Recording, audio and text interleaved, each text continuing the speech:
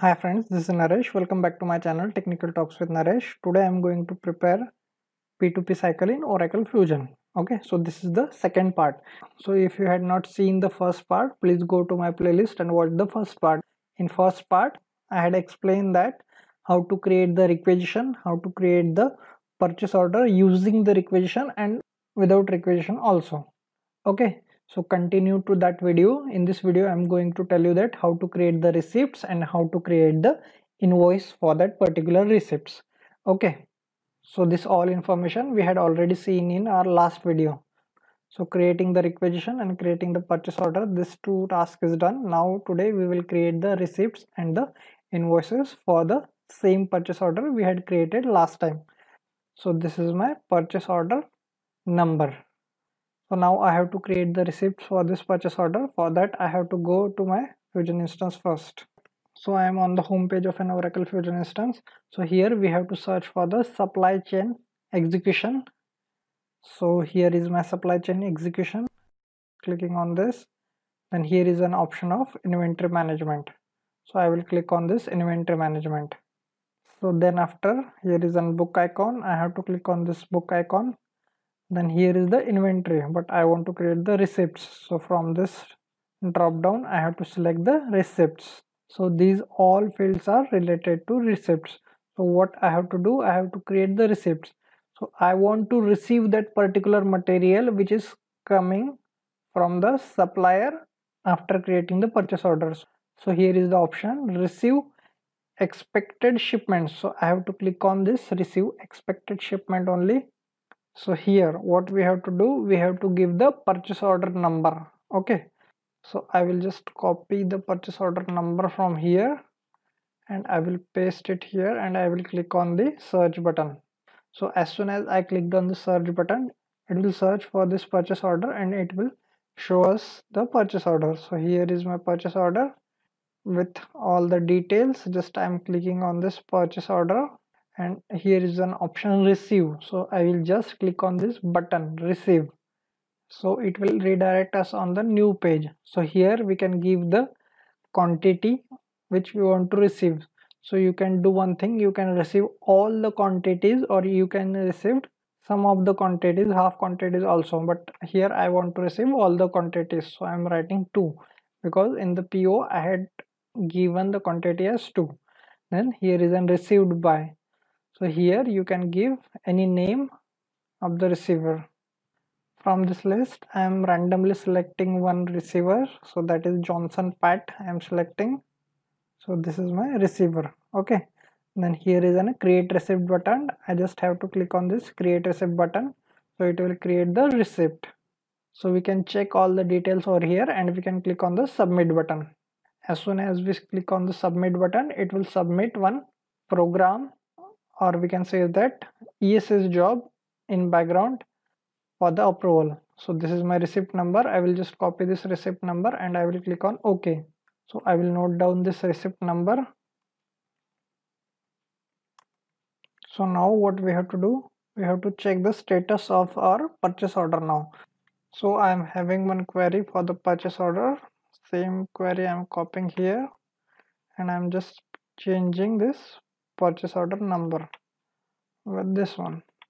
Okay now we will put this query on the query block and we will check the status. So we will edit this query. We will paste our query. I just click on OK then click on data then click on view then click on table view. Okay so we found one record. So we have to find the status. Okay so here is an document status. So what is the status now? Close for receiving. Okay so this PO is close for receiving. Okay now we will create the invoice for the same receipt. Okay so what I will do I will go back to my home screen. So I am on the home screen. So here I have to find the payables for this user I don't have the payable role assign. Okay so uh, what I will do I will log in with another user. So for this user I am having the payables role. So here is the payable. So I will click on payables. I have to create the invoice so I will click on this invoice button. Then it will show the all the invoice related detail over here. Then here is an uh, one option book icon. So I will just click on this book icon and what I have to do I have to create the invoice. So I will click on create invoice. So here is identifying PO so, so I have to give the PO number over here. So it can take all the information from the PO only. We don't have to fill it again. So the business unit the supplier the supplier site all the information is populated automatically. Okay now we have to give the invoice number. So see over here create invoice. So here is a question mark because we had not given any type of an invoice number. So i am giving the invoice number is inv underscore 001 so here is an amount. We, we are not going to insert the amount now. So here is the invoice type. So invoice type is standard. You can also find the different types of an uh, invoice types also that is credit memo debit memo all the types okay which you can see in the artwell also. So if you want to fill the line information so here select match invoice lines and click on the arrow button okay here. So here invoice amount we have to give the invoice amount. For time being i am not remembering the invoice amount so i'm just writing the 10 over there and i will click on this arrow button. So what it will do? It will populate all the information from the purchase order. This is my line which i had entered into my purchase order. So i'm just checking this checkbox. This is the warning. Click on ok. Then what is the amount? That is an 100 then click on ok button. As soon as you clicked on the ok so it will populate the all the details okay? Then here is an total amount is 100 so we will change this amount to 100 okay? And we will just about so here is an validated okay? Now we have to validate this invoice. So click on this invoice action. And here is an option of validate. It is showing message needs revalidation so why we need the revalidation? Okay so what is uh, what happened? This tax amount 9.50 this was newly added. So we have to change our total amount. So it is also now 9.50 just tab out check over here. It is match. So that's why the green tick is there. Now again go to invoice action and click on validate okay you can see now the status is validated. Check the other details also. If everything is okay click on save. It is saved and click on save and close. So the invoice is created. So what is the invoice number? So we had given the invoice number manually. That is inv underscore 001 now what we will do with the same query we will again check the status of the PO okay. So I am going back to the data model. So here is a diagram. I am just editing the query. Just click on OK. Click on data then click on view then click on table view. Then check the status of the document. So see what is the status of document? It is closed why it is closed? Because the invoicing is done over there. So that's why it is in the status that is closed means PO is closed. So this is for creating the invoices. So now we will see the tables affected for receipts. So the first table affected that is nothing but the RCV shipment headers.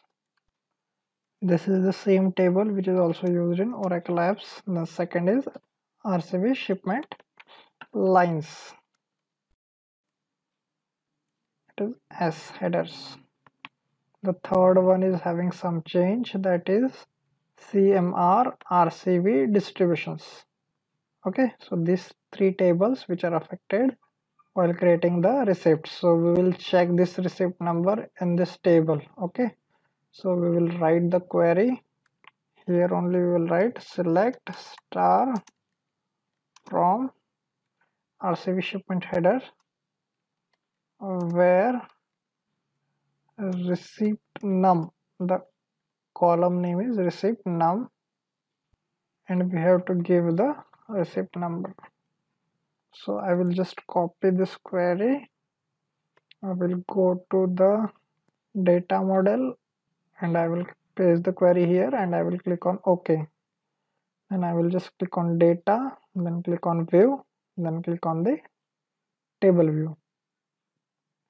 So here is our receipt detail okay so this is just for the header the receipt number and everything over there so here is the shipment header IDs also. So we can confirm it from the shipment header number also.